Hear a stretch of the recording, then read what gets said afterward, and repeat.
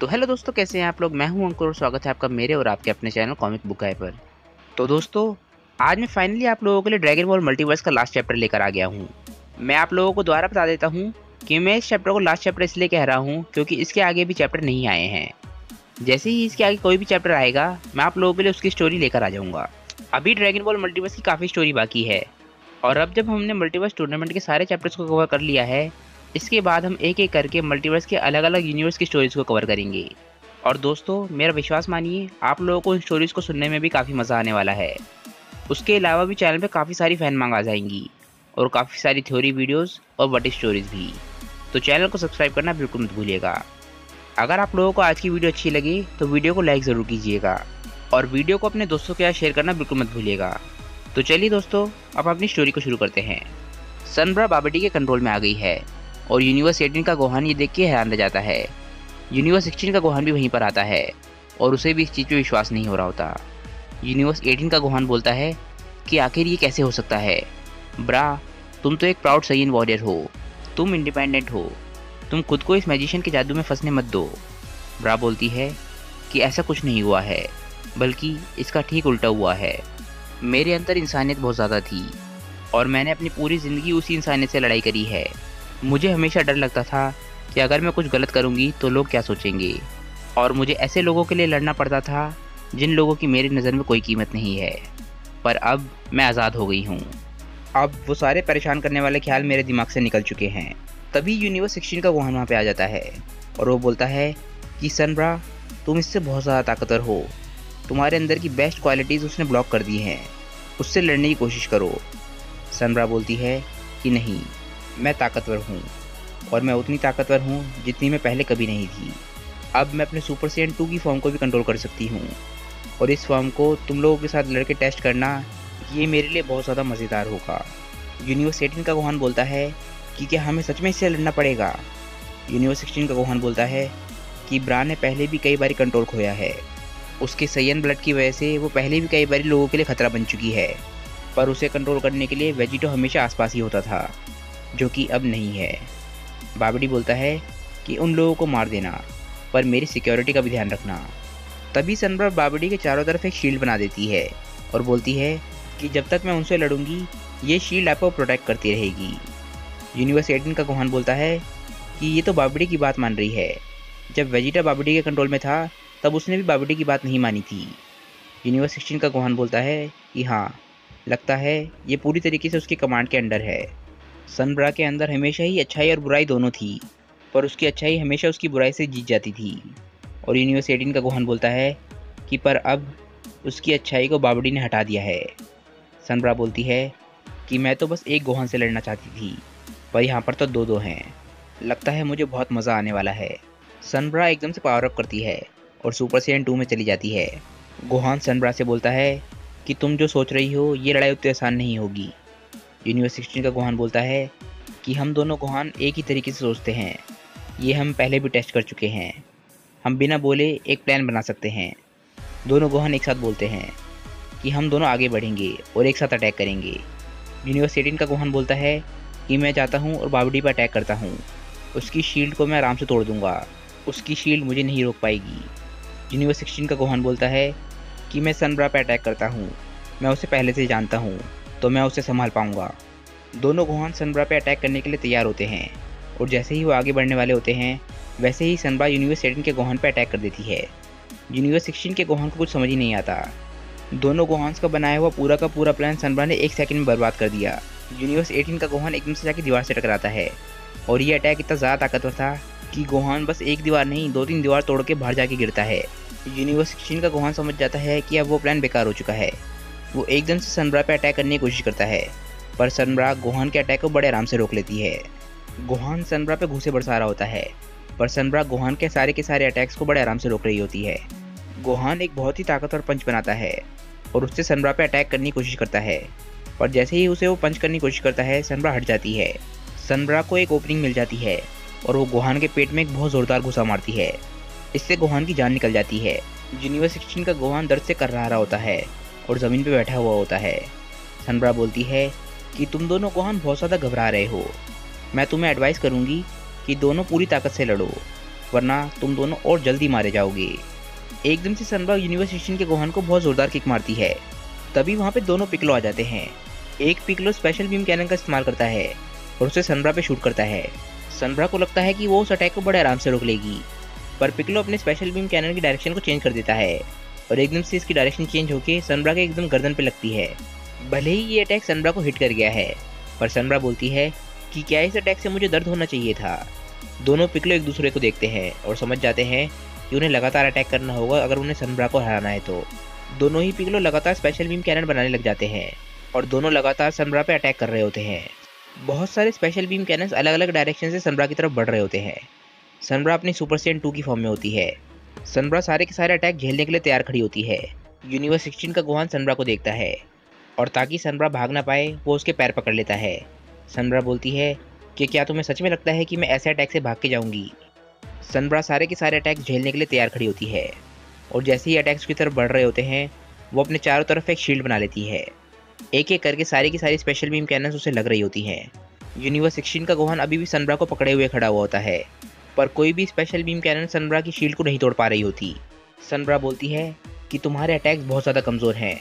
और जैसे ही वो ये बोलती है, वैसे ही एक स्पेशल बीम कैनन उसकी शील्ड को तोड़ देती है और उसके हाथ से टकरा जाती है। सनब्रा को विश्वास ही नहीं हो रहा होता कि कोई स्पेशल बीम कैनन उसे कैसे लग सकती है। वो उस अटैक से बचने की कोशिश करती है और उसका एक हाथ कट जाता है। ये स्पेशल बीम कैनन पिकलो की नहीं होती। ये स्पेशल बीम कैनन होती है परफेक्ट सेल की। सनब्रा बोलती है कि सेल आखिर तुमने अपने असली रंग दिखाई दिए। इस वक्त सनब्रा का एक हाथ कटा हुआ होता है, फिर भी वो हंस रही होती है। सनब्रा अपने कटे हुए हाथ की तरफ़ बढ़ती है और एकदम से अपने हाथ से ग्लव उतार लेती है। उसके ग्लव्स के अंदर तीन चार सेंजू बीन्स पड़े थे। वो एकदम से जाती है और उन सेंजू बीन्स को खा लेती है। जैसे ही वो उन सेंजू बीन्स को खाती है, वैसे ही वो पूरी तरीके से ठीक हो जाती है। उसके सारे के सारे घाव ठीक हो जाते हैं। यहाँ तक कि उसका हाथ भी द्वारा उग जाता है। सनब्रा बोलती है कि ये तो बहुत बढ़िया है। अगर मुझे तुमसे लड़ने का मौका ना मिलता तो मुझे थोड़ी निराशा होती। एकदम से सनब्रा परफेक्ट सेल के पीछे जाती है और उस पर अटैक करती है। परफेक्ट सेल बहुत ज़्यादा ताकतवर है, पर सनब्रा उससे भी ज़्यादा ताकतवर है। सेल बड़ी मुश्किल से सनब्रा के अटैक से खुद को बचा रहा होता है। सनब्रा एक बहुत ही ज़ोरदार गुजर सेल को मारती है। सेल बहुत ज़ोरदार तरीके से ज़मीन से टकराता है। सनब्रा सेल को ख़त्म करने ही वाली होती है। वो एक बहुत ही बड़ा अटैक बना रही होती है और बोलती है कि इस अटैक के बाद खुद को रीजनरेट करने की कोशिश करना। पर तभी वो कुछ नोटिस करती है। गोहान बाबड़ी तक पहुँच गया होता है। ये यूनिवर्स 18 का गोहान है, जो सनब्रा के अटैक के बाद दीवार से टकरा गया था। वो अनिना के चारों तरफ़ भाग के गया और किसी तरीके से बाबड़ी तक पहुँच गया। वो इस वक्त लड़ाई को ख़त्म करने की कोशिश कर रहा है, ना कि लड़ाई को जीतने की। सनब्रा एकदम से ये देख लेती है और बाबड़ी को बचाने के लिए एकदम से बाबड़ी के पास भाग के जाती है। सनब्रा के हाथों में अभी भी वही एनर्जी होती है, जो उसने सेल को ख़त्म करने के लिए बनाई थी। वो जैसे ही गोहान के पास जाती है गोहान बाबड़ी पर अटैक करते करते उसी एनर्जी पे शूट कर देता है। और जैसे ही वो उस एनर्जी पे शूट करता है, एक बहुत ही बड़ा ब्लास्ट होता है। ये ब्लास्ट इतना ज़्यादा खतरनाक था कि अरीना में जो भी लोग होते हैं, वो मारे जाते हैं। यहाँ तक कि हमारे वॉरियर्स भी इस अटैक से बहुत ज़्यादा बुरी तरीके से घायल हो जाते हैं। ये अटैक इतना ज़्यादा खतरनाक था कि पूरा का पूरा स्टेडियम तबाह हो जाता है। पर बाबेडी अभी भी सेफ़ है। सनब्रा की बनाई हुई शील्ड इतनी ज़्यादा ताकतवर थी कि वो इस पूरे के पूरे अटैक को झेल जाती है। पर एरिना में अब कोई भी नहीं बचा है। जो भी लोग थे और जो भी लोग बाबडी के कंट्रोल में थे, वो सारे मारे जाते हैं। सुप्रीम का सोच रहे होते हैं कि सारे के सारे लोग मारे जा चुके हैं। अब मैं क्या करूँ? तभी वो सुप्रीम का से बोलता है कि तुम तो पूरी दुनिया के सुप्रीम लीडर हो। मैं ये देखना चाहता हूँ कि इस चीज़ को ठीक करने के लिए तुम क्या कर सकते हो।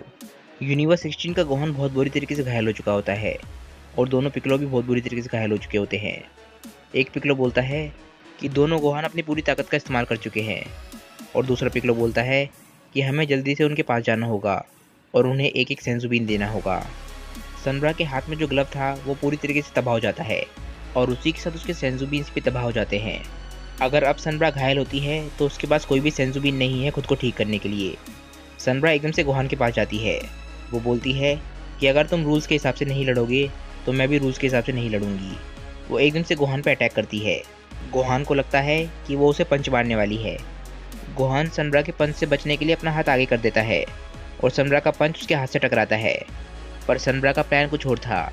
वो एकदम से गोहान को टेलीपोर्ट कर देती है और उसे एकदम से स्पेस में ले जाती है। यूनिवर्स 18 के गोहान को एकदम से याद आता है कि सनब्रा ने ये टेक्निक पहले भी यूनिवर्स 19 के एक वॉरियर के साथ यूज़ करी हुई है। सनब्रा एकदम से गोहान को स्पेस में ले जाने के बाद वहाँ से गायब हो जाती है। बाबेडी इस वक्त अकेला होता है और एकदम से सेल उस पर अटैक करने की कोशिश करता है। बाबड़ी बोलता है कि तुम मेरे कंट्रोल में हो तो मेरी बात मानो। सेल बाबड़ी की नहीं सुन रहा होता और बाबड़ी को मारने के लिए उसकी शील्ड पर अटैक करता है। पर जैसे ही वो उसकी शील्ड तक पहुँचता है सनब्रा वापस आ जाती है। सनब्रा बोलती है कि, मास्टर, लगता है मैं आपको एक भी सेकंड के लिए नहीं छोड़ सकती। सनब्रा सेल को एक बहुत जोरदार लात मारती है। सनब्रा सेल से बोलती है कि सिर्फ़ तुम्हारे पास और उन दोनों गोहान के पास इतनी ताकत है कि वो मेरे मास्टर की शील्ड को तोड़ सकते हैं। तो मैं तुम दोनों पर ध्यान दे रही हूँ। यूनिवर्स 18 का गोहन स्पेस में सोच रहा होता है कि मैं एरिना को ढूंढ सकता हूँ, पर वहाँ तक मुझे उड़ के जाना होगा और ये मुझे मेरा सांस फूलने से पहले करना होगा। तभी गोहन को एक आवाज़ आती है, जो उसके सर से आ रही होती है। वो बोलती है कि चिंता मत करो। गोहान देखता है कि एक बहुत ही छोटा सेल जूनियर है, जो उसके सर पर बैठा हुआ है। वो सेल जूनियर बोलता है कि मैं यहाँ तुम्हारी मदद करने के लिए आया हूँ। डैड ने मुझे माजिन बू को देखने के बाद बनाया था। मैं टेलीपोर्ट कर सकता हूँ। अपना सबसे ताकतवर पंच बना लो। हम जल्द ही एनिना तक पहुँच जाएँगे। गोहान बोलता है कि मैं समझ गया। चलो ये शुरू करते हैं। तभी हम एरिना में दोनों पिकलों को देखते हैं। एक पिकलो बोलता है कि मेरे यूनिवर्स का गुहान एकदम से गायब हो गया है।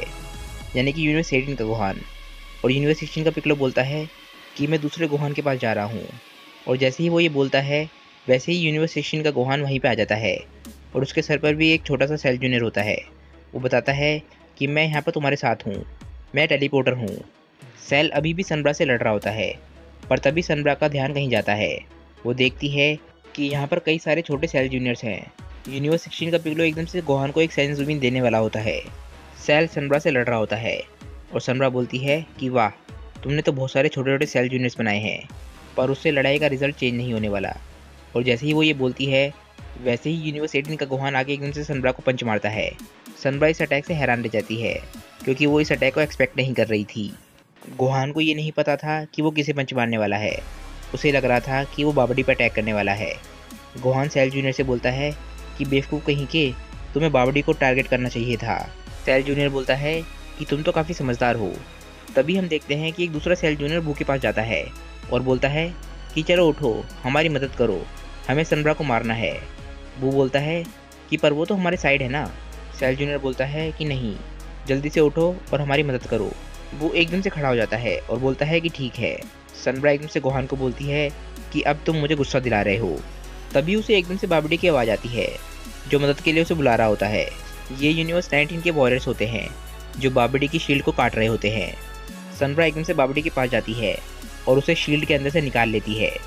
सनब्रा को कुछ समझ नहीं आ रहा होता। वो बोलती है कि पर मुझे लगा था कि यूनिवर्स नाइनटीन के वॉरियर्स को सेल ने मार दिया है, पर तभी सेल हंसता है। और हमारे को पता चलता है कि सेल ने असल में क्या किया था। ये कुछ मिनट पहले की बात है, जब सेल उस यूनिवर्स नाइनटीन के वॉरियर को मार रहा था। सेल ने अपनी पूछ की मदद से उस वॉरियर की गर्दन पर अटैक किया था, पर यह उसने बाबड़ी से बच के उस वॉरियर से बात करने के लिए किया था। सेल बोलता है कि इस तरीके से कोई भी हमारे थॉट्स नहीं सुन पाएगा। मैं तुमसे थोड़ी सी बात करना चाहता हूँ। सेल उस वॉरियर से बोलता है कि तुम्हारी बॉडी को नैनो मशीन्स ठीक कर रही हैं। तुम्हारे को कोई भी गहरी चोट नहीं लगी है। क्या तुम फाइट में दोबारा एंटर कर सकती हो? वो वॉरियर बोलती है कि, पर क्यों? हमारे एनर्जी पैक्स वैसे भी ख़त्म हो गए हैं। सेल बोलता है कि, क्या तुम उन्हें रिचार्ज कर सकती हो? वो वॉरियर बोलती है कि, नहीं, पर मैं दूसरे वॉरियर्स का एनर्जी पैक ले सकती हूँ।